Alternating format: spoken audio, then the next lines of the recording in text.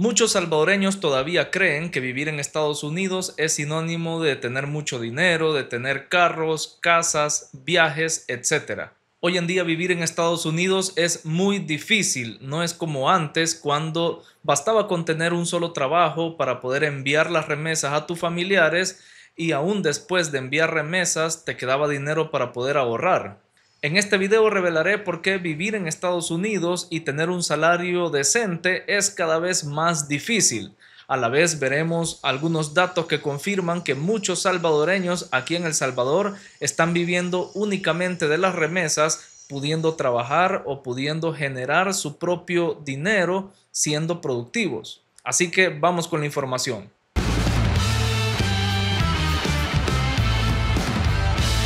Existen datos actuales de la economía del Salvador, los cuales podemos analizar y sacar nuestras conclusiones de cómo El Salvador está creciendo en materia económica y hacia qué rumbo nos dirigimos. Pero en lo que quiero centrarme es en un dato revelador de las estadísticas económicas actuales y en los cuales reflejan que estamos siendo muy injustos con la diáspora o con aquellos salvadoreños que viven en Estados Unidos y les comentaré dos razones por las cuales estamos siendo injustos con ellos. Y la primera razón es que muchos salvadoreños se han acostumbrado a vivir de las remesas cuando todavía pueden ser productivos y aportar esa productividad a El Salvador.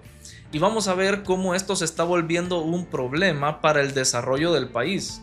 Y acá debo hacer algunas aclaraciones antes de seguir desarrollando este tema. Primero, yo no recibo remesas de algún familiar en el extranjero. Y es que me he acostumbrado a, como decimos en el buen salvadoreño, rebuscarme por obtener algún trabajo, por obtener algún ingreso que me ayude con mis gastos. Pero tampoco critico a aquellos salvadoreños que sí reciben una remesa porque es respetable el hecho de que un salvadoreño en el exterior decida enviarle dinero a sus familiares acá en El Salvador. O sea, es respetable la decisión de si quiere enviarle dinero a sus familiares o si no lo quiere hacer. De igual forma, cada quien hace con su dinero lo que quiere. Si algún miembro de la diáspora envía dinero a sus familiares, pues lo felicito. Y si no lo hace, pues no pasa nada. En ambos casos deseamos que tenga prosperidad. Aclaro que en este video lo que estoy remarcando y que se ha vuelto un problema para El Salvador es que muchas personas se han acostumbrado a solo vivir de la remesa que le envía el familiar y ya no quieren trabajar cuando aún pueden ser productivos. También respeto a aquellas personas que reciben dinero de un familiar en el exterior, ya sea porque sus condiciones de salud no le permiten trabajar o porque ya son de avanzada edad y obviamente no pueden insertarse en el mundo laboral. Mis respetos para esas personas y también deseo muchas bendiciones para esas personas que están en el exterior y que deciden ayudar a un familiar acá en El Salvador que no puede trabajar. Ahora, volviendo con las personas que pudiendo trabajar no lo quieren hacer y quieren seguir viviendo de las remesas, alguno me podrá decir, ¿y de dónde me saco esta información? ¿O de dónde o por qué estoy hablando de esto si no tengo pruebas? Pues basta con ver un poco la economía del país y analizar los números. Veamos esta noticia reciente de que el 24% del PIB está siendo utilizado por las remesas que envían los compatriotas de la diáspora que están en el extranjero. El PIB es el total de lo producido en un país, o sea, el total de las ganancias que generan la producción total de un país en un periodo de tiempo. En el PIB se toman en cuenta las remesas que envían los hermanos de la diáspora porque al final terminan siendo ingresos para los salvadoreños. Según un reporte de Fusades, en el 2021 las remesas ocupaban el 28% del PIB, que son 7.200 millones de dólares. Pero ahora, en el 2024, ocupan el 24% del PIB y ha aumentado hasta 8.000 millones de dólares solo las remesas. El índice de remesas ha bajado de un 28 a 24% porque ha aumentado la productividad otros rubros de la economía. Por eso decimos que la economía en El Salvador está mejorando en estos últimos años. Y el país va mejorando en términos macroeconómicos, pero seguimos dependiendo de las remesas. Hace poco, en un discurso que dio el presidente Bukele, revelaba que hay un déficit de trabajadores para los rubros de la agricultura y la construcción. y revelaba además que son muchos los jóvenes que ya no quieren trabajar en estos rubros.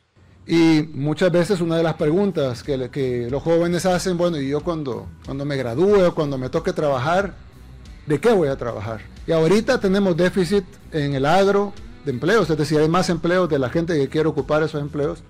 Tenemos déficit en la construcción, hay 7.000 plazas abiertas que nadie quiere llenar. Pero muchos jóvenes no quieren trabajar en construcción, pues, no les gusta. Y esto es lo que no veo justo para con nuestros hermanos de la diáspora que muchos de ellos en Estados Unidos tienen que trabajar en los rubros de la agricultura y la construcción y hacer hasta doble jornada con tal de poder enviar una remesa a sus familiares acá en el país, acá en El Salvador. Pero acá en El Salvador los jóvenes no quieren trabajar en estos rubros. Según la encuesta nacional sobre migración y remesas que se realizó en el 2017 por parte del gobierno y del Banco Central de Reserva, se nos revelaban algunos datos de cómo las familias salvadoreñas que reciben remesas ocupan este dinero. Casi el 100% de los encuestados respondieron que usaban las remesas para consumo general, para bienes de consumo, quiere decir ropa, alimentos, eh, productos de consumo general, o sea, todo en lo que se gasta normalmente en un hogar, pero solo el 11% y el 21% lo utilizan para pagar educación y cuotas de vivienda respectivamente. O sea que son pocos los salvadoreños que usan sabiamente esos ingresos que reciben de remesas por parte de familiares en el extranjero. Y es que todos estos productos de consumo general como alimentos, ropa, calzado, todo eso debería uno poder costeárselos. O sea, cualquier familia debería poder costearse todos esos consumos o todos esos gastos. Y el dinero que reciben como remesas deberían de utilizarlo para educación o para pagar cuotas de la vivienda, que son los gastos más considerables que uno tiene en la economía. Lo que quiero decir es que como salvadoreños responsables deberíamos de ser capaces de costearnos nuestros propios gastos o nuestros propios productos de consumo y si alguien nos quiere ayudar, pues eh, sería un dinero que pudiéramos invertir. Una vez más les digo, no es invento mío, aquí están los datos, es una encuesta que se realizó por parte del mismo gobierno en el 2017, así que no me estoy inventando nada. Y algunos podrán decirme, pero se utiliza el dinero de las remesas en productos de consumo, en ropa, en calzado, porque hay gente que no tiene trabajo. Y sí, pero lo extraño acá es que el presidente diga que hay rubros donde se necesitan trabajadores y que los jóvenes no quieren trabajar ahí. Ya hablé sobre las personas que están imposibilitadas para trabajar por temas de salud o porque están demasiado mayores, y eso es completamente entendible.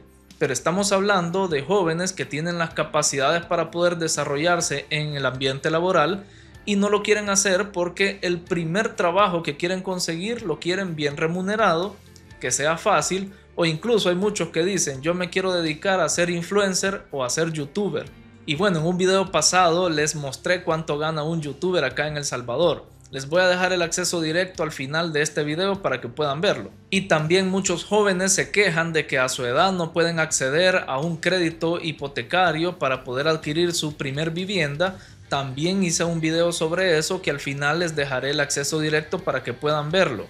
Básicamente ahí explico que hay muchos jóvenes que pudieran adentrarse al mundo laboral, empezando desde abajo, como muchos salvadoreños lo han hecho, y poco a poco ir progresando, pero que no lo quieren hacer.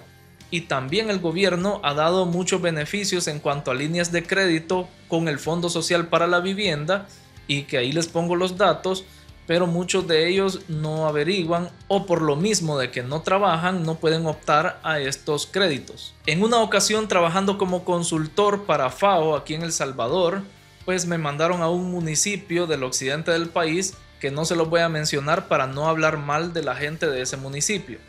Pero a eso de las 10 o de las 11 de la mañana yo podía ver muchas personas en parques, en las calles, prácticamente haciendo nada, solo pasando el tiempo, o con el celular, o platicando, y no estoy hablando de personas mayores que posiblemente ya están jubiladas, no, estoy hablando de jóvenes entre 20 a 30 años que solo estaban pasando el rato. Mi trabajo ahí era censar a los productores agrícolas de esa zona. Entonces, platicando con algunos de ellos, yo les preguntaba que por qué habían tantos jóvenes así, desocupados, básicamente. Ellos me revelaban que muchos de ellos reciben remesas, entonces que ya se han acomodado, ya piensan que no necesitan trabajar, incluso muchos de ellos hasta dejan los estudios porque sienten de que la remesa va a ser para toda la vida y que van a seguir viviendo de eso. Aquí es donde tiene total sentido lo que siempre decía Albert Einstein sobre la crisis. Él decía de que la crisis nos hace forzarnos a nosotros mismos a buscar soluciones creativas para poder salir de la misma crisis. O sea, buscar una solución trabajando o incluso emprendiendo algo para poder ganar dinero. Y es que muchas veces como seres humanos necesitamos la crisis para darnos cuenta que estamos dejando de hacer algo que podemos hacer que no estamos usando nuestras capacidades al 100% o que no las estamos aprovechando. Es por eso que cuando a alguien se le ayuda demasiado, muchas veces esto el problema que trae es que la persona ya no usa sus capacidades, ya no usa su mente para salir adelante, para reinventarse y se acostumbra a solo estar extendiendo la mano. Por eso el capitalismo, a pesar de lo que muchos digan, siempre va a traer mayor prosperidad a un país por sobre el socialismo.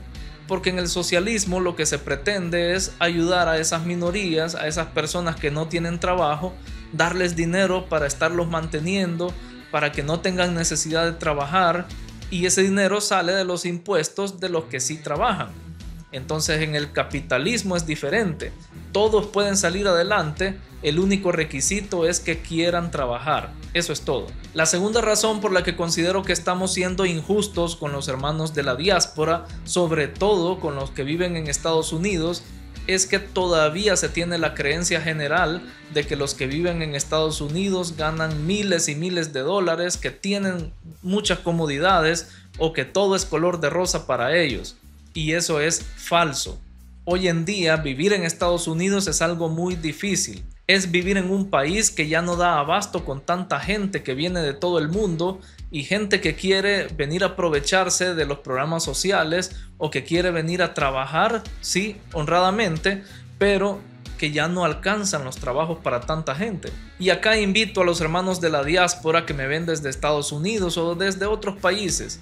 Los invito a que escriban en los comentarios sus vivencias, cuánto más o menos se necesita para vivir en Estados Unidos, cuánto cuesta encontrar un trabajo que me dé un ingreso decente y cuánto se gasta, por ejemplo, en la despensa o cuánto se gasta en vivienda, todo eso. Escríbanlo en los comentarios para que los salvadoreños que viven acá en El Salvador puedan darse cuenta que no es fácil vivir ahí. Para empezar, ya no basta con tener un solo trabajo. Muchas personas que viven en Estados Unidos tienen que hacer doble jornada o tienen que tener dos trabajos porque sus ingresos ya no alcanzan para cubrir tantos gastos. Y si solo tienen un trabajo, tienen que limitarse mucho en sus gastos para que sus ingresos puedan cubrir esos gastos al final del mes. La inflación está altísima y por lo menos ahora se ha mantenido un poco, pero ha venido creciendo a lo largo de estos meses, en el transcurso de estos años, desde la pandemia básicamente. Acá les dejo una gráfica donde pueden ver el aumento de la inflación a lo largo de estos meses. La inflación significa que todo está a un alto precio y que el precio va aumentando con el pasar de los meses. Quiere decir que todos los productos de consumo cada vez cuestan más conseguirlos, que el dólar vale menos, que arrendar una vivienda sale más caro y la ropa, el calzado, todo está más caro. Y la inflación se da porque el gobierno de Biden ha tenido que salir a la ayuda de muchas empresas o incluso de la población en general por el tema de la pandemia. Desde entonces se tienen algunos programas sociales que ayudan a la población y ayudan a las empresas a que puedan seguir con sus labores, digámoslo así, normales, sin tener muchas pérdidas. Pero lo que han hecho es que para no endeudar tanto al país, el Banco de la Reserva Federal ha impreso dólares. Esto hace que el dólar valga menos y por ende hay más inflación, todo se vuelve más caro. Así que hoy en día, hoy por hoy, es más caro vivir en Estados Unidos que antes de la pandemia. Y eso que solo han pasado cuatro años. Esta ayuda social que da el gobierno, ya sea a la población, a los estadounidenses o a las empresas, un día tiene que terminar porque ya pasamos la pandemia. Y es que se anunció ya que por lo menos la ayuda que se les da a las escuelas va a terminar en septiembre de este año. Y se estima que esto va a provocar algunos despidos en las escuelas. Y no solo en las escuelas, sino que en otros rubros, porque también se va a eliminar estas ayudas del gobierno a otros rubros de la economía. Entonces esto puede traer una recesión para el país norteamericano. Y lo peor es que el salario mínimo en Estados Unidos no aumenta. Solo veamos esta gráfica de cómo se ha mantenido estable el salario mínimo en los últimos años en Estados Unidos. La línea azul, ahí podemos ver que se ha mantenido y no ha tenido ningún cambio. Lo peor es que aumentar el salario mínimo podría agravar la situación de la inflación. Bueno, les estoy mostrando acá lo que es el salario mínimo federal en Estados Unidos, porque sabemos que cada estado maneja también sus números pero siguen con la misma línea de mantener estables los salarios y no subirlos. Y si nos vamos a la vivienda, ni se diga. Está igual que acá en El Salvador, que cada vez va en aumento y no vemos la luz al final del túnel o no vemos que vaya a reventar por lo menos esa burbuja inmobiliaria. Esto afecta a los hermanos salvadoreños de la diáspora que viven en Estados Unidos y que no tienen hijos, porque los que tienen hijos ya tienen un gasto adicional no solamente de los productos que van a consumir sus hijos o los alimentos o ropa, calzado, sino también la educación. Y aquí es donde ya muchos sabemos que cuesta un ojo de la cara el hecho de pagar una universidad en Estados Unidos.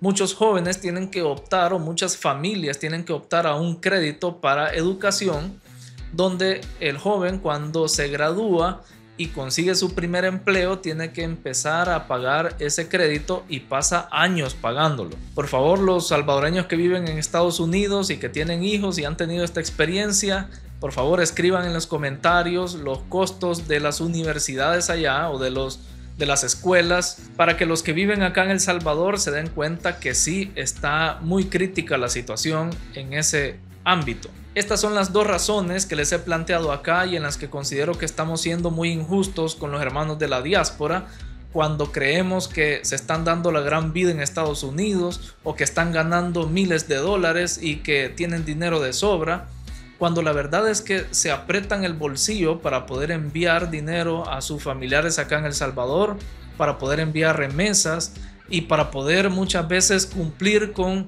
las demandas que tienen los familiares acá en El Salvador. Demandas de, por ejemplo, comprarme un regalo para el cumpleaños o para el Día de la Madre o para el Día del Padre o que necesito estudiar y le piden al familiar en Estados Unidos que les mande el dinero, etc. Y eso que no hablé de la barrera del idioma. Recordemos que allá se habla el inglés. Entonces eso también afecta al desarrollo de nuestros hermanos de la diáspora allá en Estados Unidos. Y tampoco hablé de la discriminación por ser latinos, que eso también lo viven allá y es un problema grande de Estados Unidos y que no se le ve solución todavía. Bien, espero que este tema haya sido de tu interés. Si fue así, por favor, comparte este video con tu familia y amigos, suscríbete a este canal y escribe tu comentario para que todos sepamos cuál es tu opinión acertada sobre este tema. Acá te dejo los videos que te prometí uno hablando sobre los ingresos que tiene un youtuber acá en El Salvador y otro video hablando sobre el problema de la vivienda acá en el país, de la burbuja inmobiliaria que estamos viendo una vez más, no solamente en El Salvador, sino en todo el mundo. Están interesantes. Gracias por estar pendientes del canal y nos vemos en el siguiente video.